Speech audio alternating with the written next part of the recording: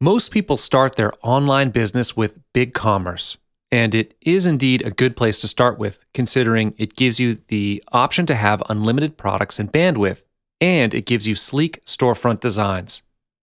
But your next step towards expanding your online business is migrating your shop to Shopify. Shopify is the new star in e commerce platforms. Most solid online shops go with Shopify because of the included feature set and built in scalability. So, what are you waiting for? It's time to expand your online business to a better and larger platform. If you are hesitant to migrate your store to Shopify, here are some reasons why you should. First of all, Shopify provides a more stable server. Because of this, you will not have to worry about store downtime. Second, Shopify is extremely simple to use. Shopify manages all of the servers, upgrades, and code maintenance issues, so you don't have to worry about those anymore. Moving on, using Shopify enables you to have full control of your online store. It is hosted by Shopify, but extremely customizable. With their impressive template engine and API, you can fully customize the online store platform to your needs. Next, there are extensions or plugins available for Shopify. You are allowed to install any of the plugins and extensions to add additional features to your online store. Adding extensions is incredibly easy, it just takes a few clicks. Last but not least, moving your online store to Shopify is also simple. It should take less than an hour to move all the valuable information from your old store to Shopify. And this includes the product details, orders, images, and so on. The interface of Shopify is much simpler than other platforms. It's tremendously user friendly. Now I'm going to lead you through the process of migrating your online store to Shopify. It doesn't really matter which platform you're moving your store from, the whole procedure is more or less the same. But in this case, I'm going to use BigCommerce as the example. So let's begin. The first step is you will need to create a Shopify account. Shopify offers a 14 day trial account for new users. You can start a trial account first, hosting your online store as well as testing the platform. And then, after the trial, pick the right Shopify plan for your store. The options are this the light plan for $9, basic for $29, Pro for $79 and Unlimited for $179. Step two is to configure your Shopify store. You have two options an online store and a retail store. You'll need to choose one of them depending on the nature of your business. If you pick the online store option, you will have a fully hosted e commerce website. On the other hand, if you pick the retail store option, you'll get to sell in person using an iPad or iPhone point of sale system. After that, fill in your basic information, such as your address, which sets up your tax rates and currency.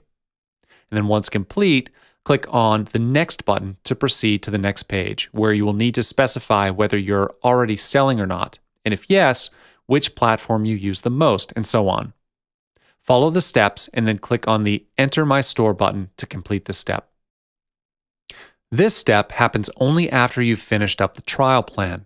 You will need to choose a Shopify plan and link your account to your credit card. As I've mentioned, there are a few plans from $9 up to $179. Pick one of the plans that suits your business and select your payment method. Then click on the Confirm Charges button to complete this step. After you've picked the payment plan, the next step is to choose the theme you'd like to use for your store. It's almost impossible to move the exact design from your BigCommerce store to Shopify. However, Shopify does offer various themes that you can browse through and customize. If you like your branding, you can choose a theme that is closest to the design from your BigCommerce store.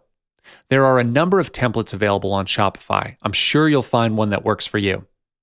Templates make it easier for you to visualize what your own Shopify store will look like. The previous steps are all about setting up your Shopify account and designing your store. Your store migration hasn't taken place yet. The next step is for you to install the migration app in order to move the information in BigCommerce to your new Shopify store. The app you want to install is called Cart to Cart, which can be found in the Shopify App Store.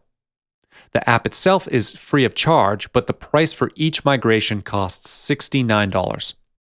But the cost is definitely worth it because the app allows you to transfer your product details and images, the categories in your old store, customer data, and shipping information, orders, manufacturers, and product orders. Moving this valuable information from the old store to the new store in Shopify would be painful to do one by one. With this migration app, moving all this information is just one click away. It's extremely easy to use. Click on the new Cart to Cart user tab and fill in your information. Remember that this is a different account from Shopify, so you're registering under the Cart to Cart app. And before migrating the information, of course, you will need to configure the source and target carts. There are three option tabs on the left part of the page, which are Source Cart Setup, Target Cart Setup, and Start Migration. In the Source Cart Setup, tell the migration where all your data is coming from. In this case, you will choose BigCommerce as your source and then add in the URL link to your old store. Moving on to the target cart setup, you will need to fill in here the new platform that you're going to use, which is Shopify in this case. So copy and paste the new URL link to your Shopify store. Follow the next steps and then click on Start Migration. And then you will get to choose the entities that you would like to migrate from the old platform, such as product details, manufacturers, customer information, orders, and so on. Click on the entities you wish to migrate. You can unclick them as well. Then click on Proceed to Next Step to select the currencies for the migration. Pick your currency and click on Proceed to Next Step. Next, you are able to migrate your order statuses from your old store to Shopify. Shopify wants to ensure that the migration happens orderly. Because these status tags have different names, it's best for you to walk through all of the order statuses to make sure the details are correct. And this will let you keep the old order statuses even after you've migrated to your new store. In this next step, you will need to manage the domain name. For this, navigate to the Online Store tab in your Shopify dashboard. Click on the Domains option on the left and click on the Add an Existing Domain button which is located in the upper right corner. Fill in the URL to your old store and click on the Add Domain button. After you transfer your old store to the Shopify site, the domain name will be different from the old one. You definitely do not want your customers to go to the wrong place with an outdated store.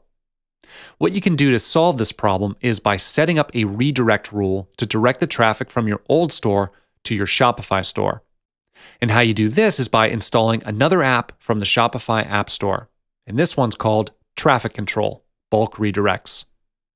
This app costs $39 and it lets you redirect your traffic from the old link to your new link. One thing you need to make sure of is that the links are all set up correctly. And then that's it. Now you're done migrating your store from BigCommerce to Shopify.